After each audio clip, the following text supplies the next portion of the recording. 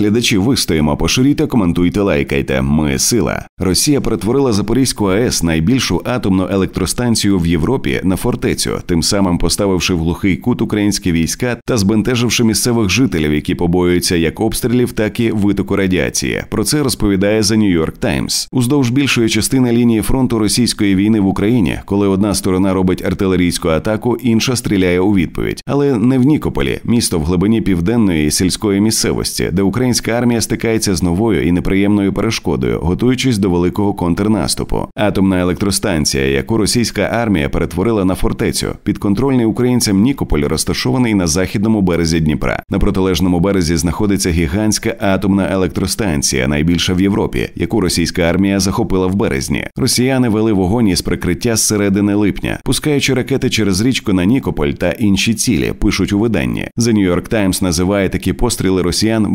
безкоштовними, бо Україна не може випускати залпи снарядів у відповідь, використовуючи передові ракетні системи, надані США, які заглушили російські гармати в інших місцях на лінії фронту. Це може призвести до ризику ураження одного з шести реакторів з водою під тиском або високорадіоактивних відходів у сховищі, і Росія це знає, додають у видання. Вони там ховаються, щоб їх не вдарили, каже мер Нікополя Олександр Саюк. Інакше навіщо їм бути на електростанції? Використовувати такий предмет як щит дуже небезпечно. Мешканці тікають з Нікополя через небезпеку як обстрілів, так і можливого витоку радіації. А ті, що залишилися, почуваються безпорадними, наче мішенями в тирі. Ми як засуджені в'язні, які повинні просто стояти на місці і в них стріляють, сказала місцева мешканка Галина Гращенкова, пенсіонерка, будинок якої постраждав від російської артилерії. Вони стріляють по нас, і ми нічого не можемо зробити. Атаки з атомної станції, яка стала центром війни, ускладнюють плани України на півдні, оскільки просування Росії на сході сповільнилося. У міру посилення контратаки Запорізька атомна електростанція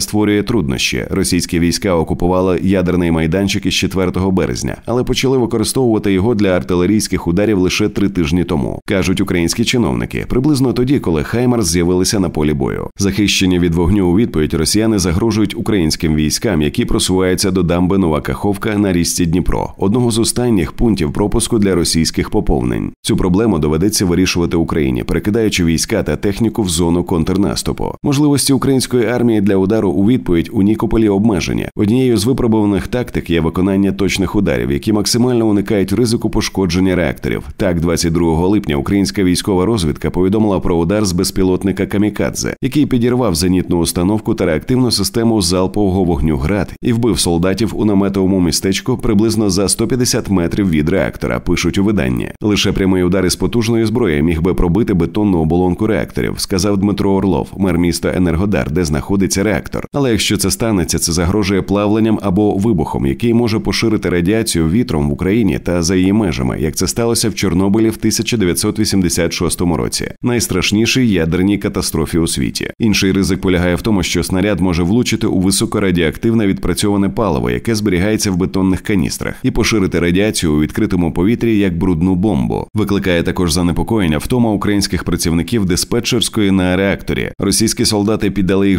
жорстоким допитам, у тому числі катуванням електричним струмом, підозрюючи в диверсії або в інформуванні українських військових про діяльність на станції. Близько десятка зникли після викрадення. До зустрічі глядачі вистоїмо, поширюйте, коментуйте, лайкайте. Ми сила.